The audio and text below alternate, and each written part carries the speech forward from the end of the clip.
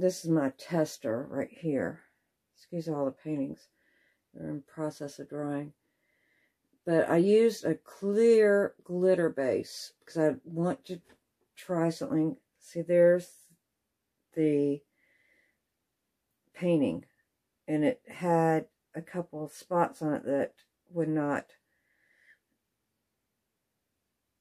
fit, be fixed. So I thought it'd be really cool to do a painting on top of it. But I couldn't, didn't want to take away from it. So I'm trying this clear. I saw Heather do it with Hodgepodge. Mod Podge. so I had the clear glitter stuff.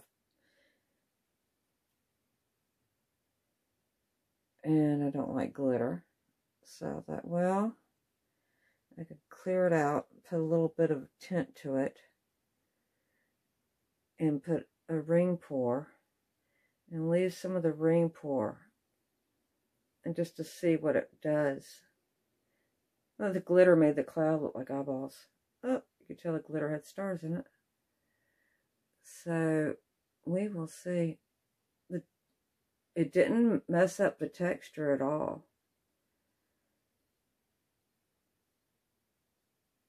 You can see, I think that's the white canvas underneath, and it's drying. And a, a seahorse came out of it, which is really cool. And I, did, I just noodled his head a little bit. Smeared, smeared it. Alright, so let's see how this dries. And over here is my t-shirt one with a smear underneath. It's really turned out really well. And this, I am just going to say right now, hold on, my cat post work. This is an old canvas, okay? I'll show it. See, there's the bottom part. And it was one of my favorite paintings, but it had a chip on it. And it was in my bedroom, so I said, well, I will see if I could do a creature.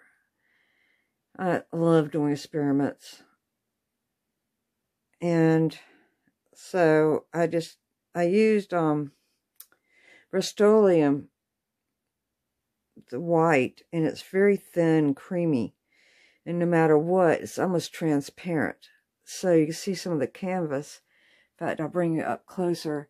See the dots? That's actually um, Golden's Flow. I made little um, dendrites so it sort of is underneath there, which actually gives it more texture. And I'm not really sure. It sort of looks like a warthog and the grass becoming the grass. I have no idea, but I had a blast with it and I loved how it sailed. And this is my favorite part right here.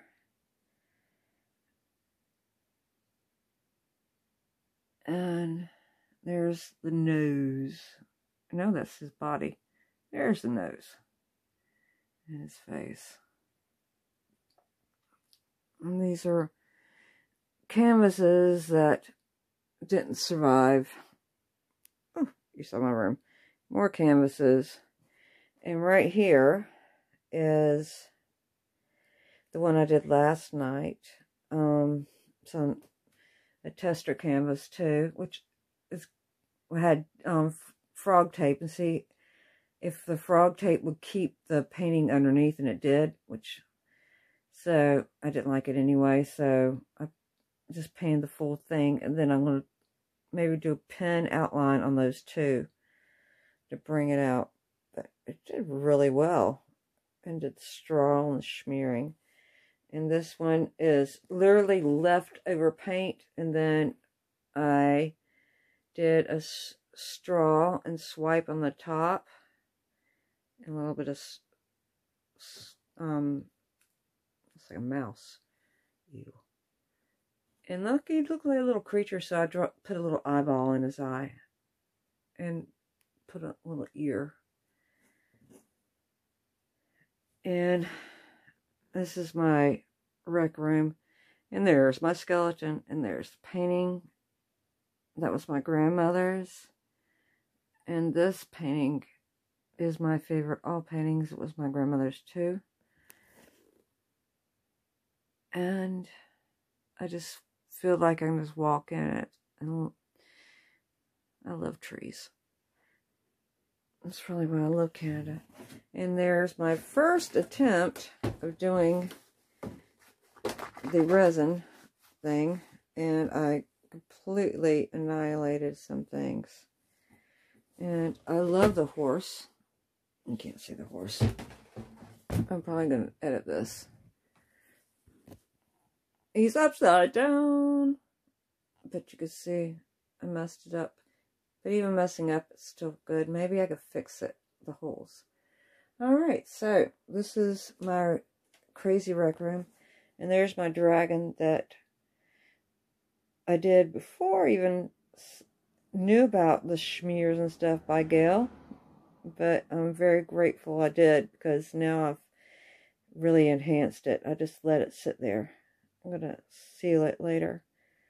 All right. So